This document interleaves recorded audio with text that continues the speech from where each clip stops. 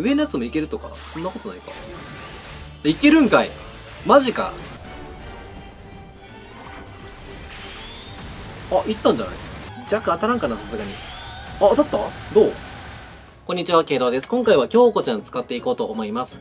このキャラは4つアンチアービを持っていまして、他にもアップポジションキラーと友情ブースを持ってるんで、殴り火力だったり、友情コンボに関しても結構火力が入ります。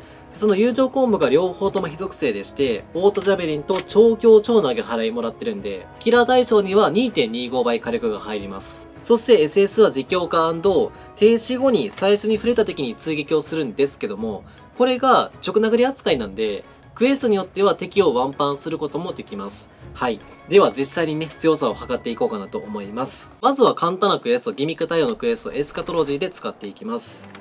ここに関しては、超 AGB と超アンチウィンドウを発動しますね。はい。あとはアップポジションキラーもここは乗っていきますんで。はい。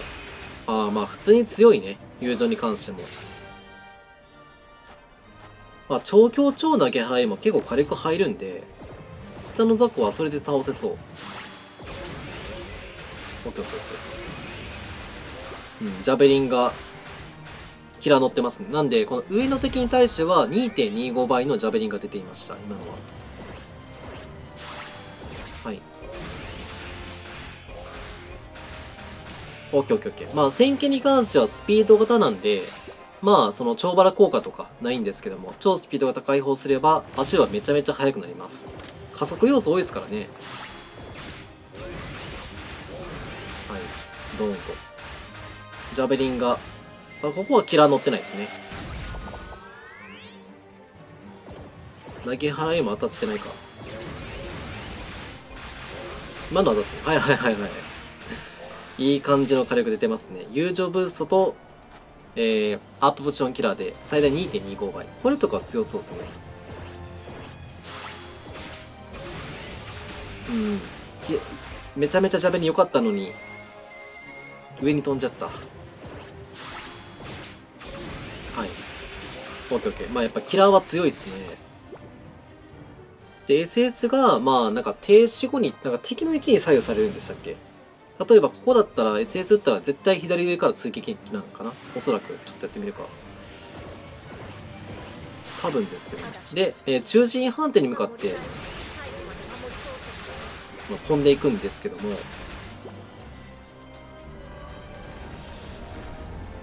うんそうですよね。はい。こんな感じであの左上から真ん中に対していくんで右下の弱点には届かないんですよ。あの切り込む系ではなく途中で止まるんで中央で止まるっていうイメージですね。なのでワンパンするにしても中央弱点とかはしやすいんですけども、まあ、クエストによってはちょっとしにくい場面も結構あると思います。まあ、やっぱクエストを選ぶタイプのワンパン系ですね。まあ、かなり非属性のワンパンキャラは今年いっぱい出たんですけども。はい、これキラー乗ってる、ジャベリン。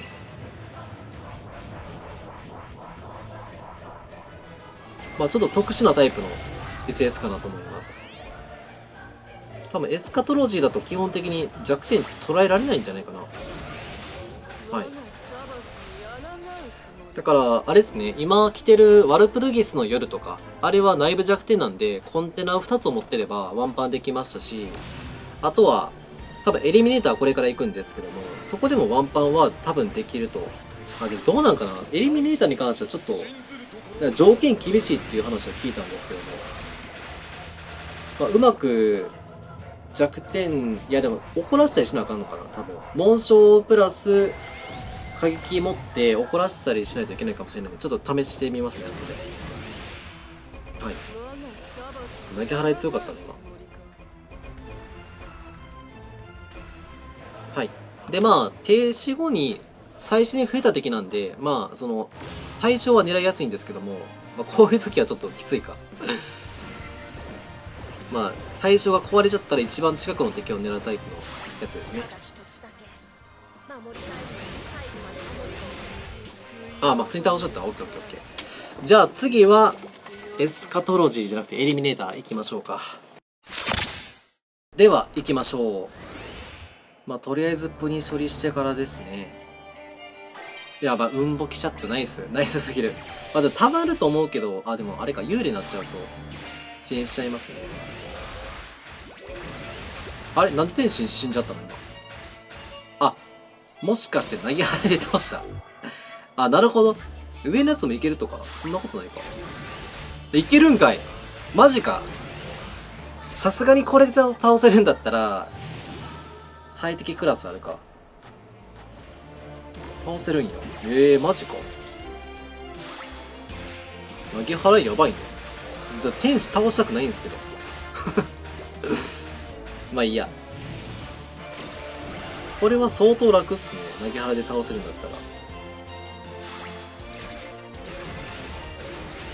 天使がいっぱい死んじゃう。オッケーオッケー。ってことは手とかも全部倒せるのかな？で上にいる敵だけかな？下にいるやつもちょっとやってみるか。後で。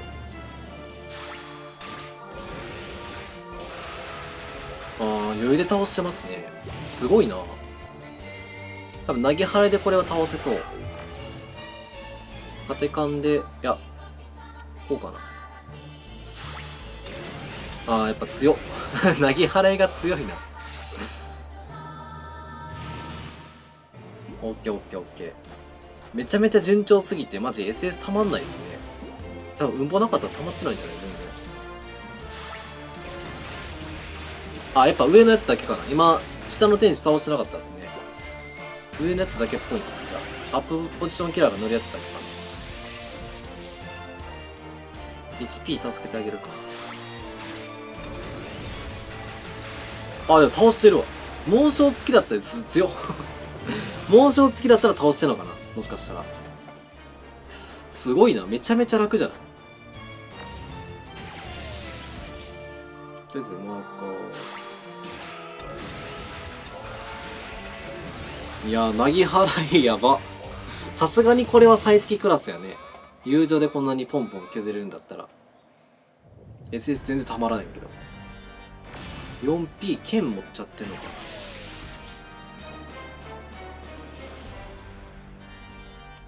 ちょっとプニ処理するかな。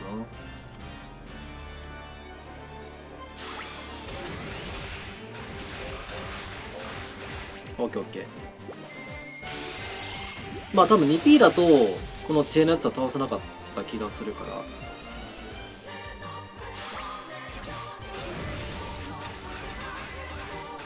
うんそうですね。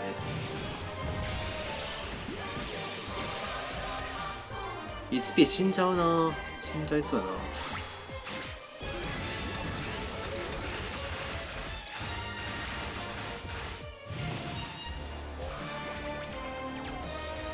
SS 等かね。OKOK これはでも下に暴れると危ないから横間でも大丈夫かこれ。倒せそう。さすがに大丈夫かな。えっと過激は今そこまで持ってないですけども。きますか。投げ払い当たったらやばそうですけど縦の方がいいかな。だと当たってないとかいうのが一番寒いんで横でいきますやっぱ。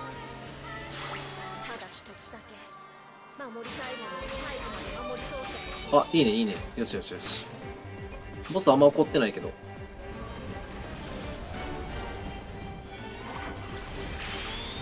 あいったんじゃない？このダメージはあ めちゃくちゃ余裕でしたね全然ボス怒ってなかったし、剣もなかったけど。うん。ああ、なるほどね。やっぱ内部弱点に強いタイプの SS っていう認識でいいのかな、これは。うん。相当、エリミネーターは、簡単に感じました、これは。友情も強すぎたからね。4分4秒ですよ。めちゃくちゃ早い。ちょっとあっけなく倒しすぎたんで、裏近畿23いきましょう。価値は登場するんですけども、価値ってこれか。うんぼナイスまた来た。レベル何ぼやったっけ？レベル何ぼにするんでしたっけ？何が正解だ？あってのが1でよし。ワンパンしましょう。できるか分かんないですけど。でもなぎ払い強いな。友情で結構削れますね。火ダメージやっぱやばいんだろうこれ。バフのひらめがやばいのか？いや、でも強っ。倒せ、倒せ、倒せ、倒せ。ワープ展開だけ。バフのひらめがやばい。レベル2で回復か。はいはいはいはい。よし。バフ持ってるからもう SS 打っちゃっていいかな。は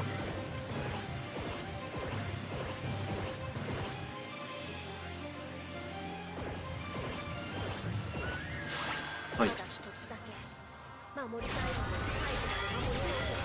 あなくなっちゃったねバフが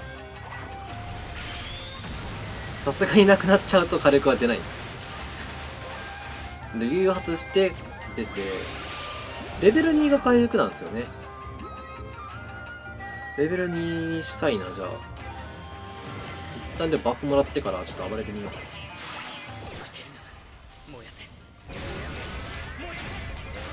あ、なくなっちゃったね、やっぱり。はいはいはい。炭治郎ちゃん強い。4P をバフ持った状態か。よし。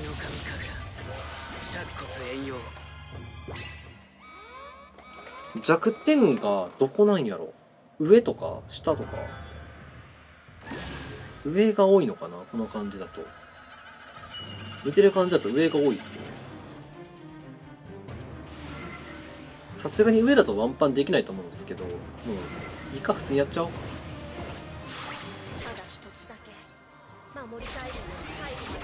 アップポジションいいね、いいね。投げ払い強超強超投げ払いやばいね。あ、右弱来たよ。あるんじゃない？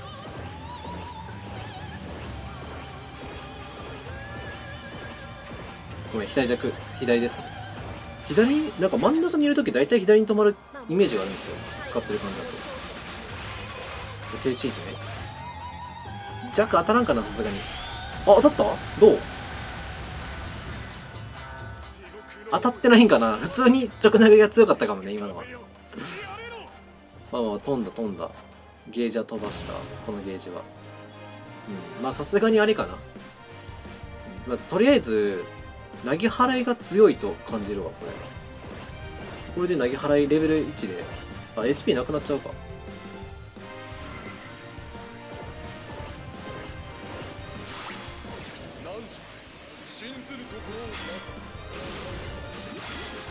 あ、オッケーオッケーオッケーオッケー。投げ払いでも今のあんま当たってないかな。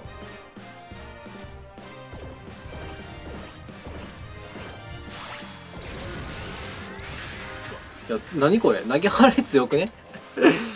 い や、超強超投げ払いで結構火力出してる気がしますね。以上、京子ちゃん使っていきましたが、想像以上に友情コンボが強かったですね。アップポジションキラーと友情ブーストが乗ってくる超強超投げ払いによって、倒せない敵を倒したりとか、あとは普通にボス火力もめっちゃ出たんで、これがやっぱ想像以上でした。あとはアンチャビに関してはアンチ転送壁を持ってるんで、これが今後評価を上げるポイントだと思います。やっぱりまだまだね、アンチ転送株のキャラは少ないし、特にその枠の中でも直殴り系のワンパンキャラとかって、まあ、ルフィはその枠には入らないと思うんで、新しいね、ワンパン枠として今後活躍する可能性があると思います。もちろん敵の位置によってはワンパンできないクエストもいっぱいあると思うんですけども、内部弱点は基本的に絶対拾うと思うんで、それが武器になってくるんじゃないかなと感じましたね。しっかり2段階だと20倍の火力あるし、そこにキラーが乗ってくると1.5倍の30倍になるんで、しっかりワンパン力も兼ね備えています。もちろん既存のクエストは間に合ってるんですが、やっぱりアンチ転送壁がね、今後評価を上げるポイントだと思ってるんで、まあ、このキャラも十分当たりキャラだなっていうふうに思っています。そんな感じでよかったらね、皆さんの意見も教えてください。本日もご視聴ありがとうございました。ぜひ高評価、チャンネル登録お願いします。それでは、バイバイ。